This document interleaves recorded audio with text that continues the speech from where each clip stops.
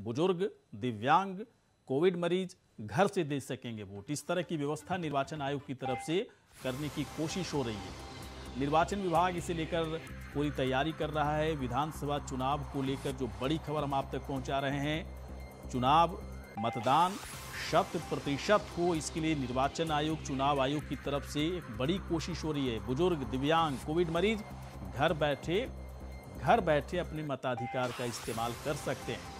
निर्वाचन विभाग इसको लेकर तैयारी कर रहा है। पहली बार दिया जाएगा पोस्टल बैलेट का विकल्प दिया जाएगा। कोविड पॉजिटिव या कोविड संदिग्ध को मिलेगी एंट्री। बूथ पर सबसे लास्ट में मिलेगी एंट्री। पोस्टल बैलेट के लिए भरना होगा फॉर्म 12 डी अगर पोस्टल बैलेट के ज़रिए आप मताधिकार का इस्तेमाल करना चाहते हैं तो चुनाव आयोग के ज़रिए एक बारह डी फॉर्म भरवाया जाएगा। इस फॉर्म को भरने के बाद आप पोस्टल बैलेट का उपयोग करके अपने मताधिकार का इस्तेमाल कर सकते हैं। तो देखिए, बड़ी खबर है, उत्तराखंड में अगले साल चुनाव है और उससे पहले चुनाव आयोग बड़ी तैयारी कर रहा है। चलिए, अभय कैंतुरा हमारे सहयोगी और अपडेट करेंगे। अभय ये तो बहुत ही बड़ा कदम है दिव्यांगों के लिए, बुज़ुर्गों के लिए। पोस्टल बैलेट का इस्तेमाल वो कर सकेंगे, मताधिकार का इस्तेमाल कर सकेंगे। क्या तैयारियाँ चल रही हैं इसे लेकर? इलेक्शन कमीशन की तरफ़ से, निर्वाचन आयोग की तरफ़ से क्या अपडेट है? बताइए अभय जी, बिल्कुल। उत्तराखंड में विधानसभा चुनाव की तैयारियों को लेकर इस समय निर्वाचन आयोग अपने अंतिम दौर में यहाँ पर काम करता नज़र आ रहा है जिसमें सबसे पहले ये कह सकते हैं कि वोटर लिस्ट को अपडेट करने के अलावा जो दूसरी जो प्रक्रियाएँ होती है, चाहे आपके अधिकारियों के प्रशिक्षण की तैयारियाँ हों या फिर जो पोस्टर बैलेट की जो तैयारियाँ, उनको लेकर यहाँ पर काम करना शुरू किया जा चुका है।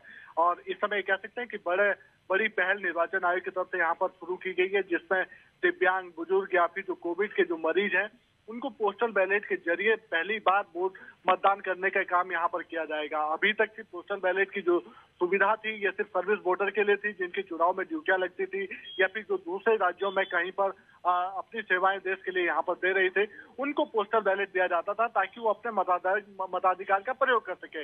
लेकिन इस बार ये कह सकते हैं कि कोविड जो बिहेवियर है उसको देखते हुए निर्णय यहाँ पर लिया गया है और बुज़ुर्ग दिव्यांग या फिर जो कोविड के जो मरीज़ हो पोस्टल बैलेट के ज़रिए अपना मतदान यहाँ पर कर सकते हैं। उसके लिए निर्वाचन आयोग की जो प्रक्रिया है, उसमें बारह डी का एक फॉर्म वहाँ पर उन्हें भरना होगा, इसे ऑनलाइन भी भरा जा सकता है और उसके बाद उन्हें पोस्टल बैलेट यहाँ पर दिया जाएगा, जिसके ज़रिए वो अपना मतदान कर सकते हैं। साथ ही निर्वाचन आयोग ने कहा है कि जिस पोलिंग बूथ पर अगर कोई कोविड के मरीज़ या संदिग्ध जो मरीज़ अगर वो स्वयं मतदान करना चाहता है तो उसके लिए वहाँ के जो पीठासीन अधिकारी होंगे जो जो होंगे उनके उनकी परमिशन के बाद उन्हें सबसे अंत में वोट करने की वोट करने की अनुमति यहाँ पर दी जाएगी। तो ये कह सकते हैं कि निर्वाचन आयोग अपने स्तर पर पूरी तैयारी यहाँ पर कर रहा है ताकि उत्तराखंड में सफल मतदान यहाँ पर हो सके और तो ज़्यादा से ज़्यादा मतदान का अभय अभय अगर ये व्यवस्था होती है हालाँकि अब तो हो ही जाएगी निर्वाचन आयोग ने जब फैसला ले लिया है तो होना ही है क्योंकि निर्वाचन आयोग का काम वाकई में बहुत ही सिस्टमेटिक तरीके से चीज़ें होती हैं। अपने काम में परफेक्ट भी है, पर पूरी तरह से परफेक्शन के साथ चुनाव आयोग के सारे काम होते हैं। मैं जानना चाहता हूँ, जब ये काम कर लिया जाएगा चुनाव आयोग की तरफ़ से, कितने लोगों को फ़ायदा होगा उत्तराखंड में इससे? देखिए गौरी शंकर अगर इन चीज़ों पर अगर पूरी तरीके से काम यहाँ पर हो जाता तो फिर उत्तराखंड के जो सुदूरवर्ती जो गाँव है, जो दूर क्षेत्र के जो गाँव है, जहाँ पर बुज़ुर्ग लोग वो मतदान करने नहीं जा पाते सिर्फ़ वजह ये होती है कि मतदान केंद्र उनके गाँव से काफ़ी दूर वहाँ पर होता है। तो ऐसे में अगर पोस्टल बैलेट की जब सुविधा उपलब्ध हो जाएगी तो फिर ये कह सकते हैं कि जो पहाड़ी जो क्षेत्र है वहाँ पर इन सब लोगों की एक बड़ी आसानी यहाँ पर वोटकास्ट करने की हो जाएगी। और ये भी सबसे ज़्यादा कह सकते हैं कि जो मतदान निर्वाचन आयोग की जो प्रक्रिया है और निर्वाचन आयोग जो चाहता है कि ज़्यादा से ज़्यादा मतदान यहाँ पर हो ज़्यादा से ज़्यादा लोग मतदान में भागीदारी करें उसको लेकर भी एक सफल आयोजन यहाँ पे कह सकते हैं। तो ये कहा जा सकता है कि कम से कम अगर पोस्टल बैलेट की सुविधा इन सभी लोगों को मिल जाती है और आसानी से लोगों तक फॉर्म डी ट्वेल्व डी यहाँ पर पहुँच जाता है तो उत्तराखंड में कह सकते हैं कि कम से कम दो से तीन प्रतिशत मतदान की यहाँ पर बढ़ोतरी होगी जो एक अच्छा संकेत उत्तराखंड में चुनाव के लिए कहा जा सकता है। जी। अच्छा चलिए एक जानकारी और दीजिए अब है। ठीक है निर्वाचन आयोग इसकी तैयारी कर रहा है।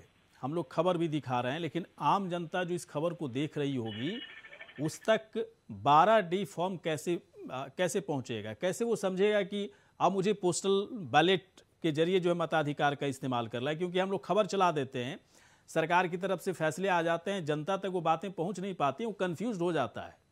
तो इस तरह के कन्फ्यूज़न को कैसे दूर करें कि बारह डी कब उसके पास पहुंचेगा? क्या क्या जानकारी उसमें देनी होगी? और किस तरह से बैलेट पोस्टल बैलेट का इस्तेमाल होता है जानकारी तो होनी चाहिए ना उसके पास?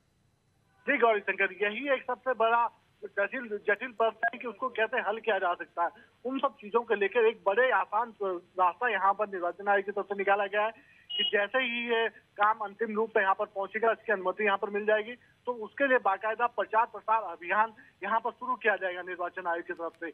उसके लिए जो बीएलओ होंगे, उनको यहाँ पर प्रशिक्षण दिया जाएगा। और बीएलओ के माध्यम से ऐसे लोगों का फॉर्म ट्वेल्व डी भरने का काम यहाँ पर किया जाएगा। यानी बीएलओ आपके घर पे जाएगा जो वोटर लिस्ट अब तक वेरीफाई करते थे वही लोग बीएलओ जो आपके पास फॉर्म ट्वेल्व डी लेकर पहुँचेंगे और उसको भरवाने का काम यहाँ पर करेंगे।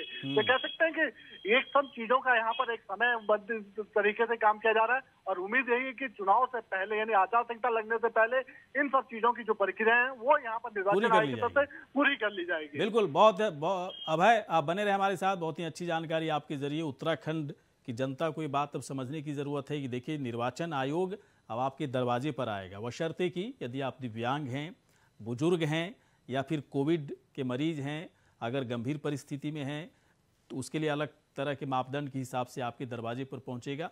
और 12 डी 12 डी फॉर्म भराने के बाद आप उसके लिए योग्य हो जाते हैं। आप आप पोस्टल बैलेट के के ज़रिए आप अपने मताधिकार का इस्तेमाल कर सकते हैं।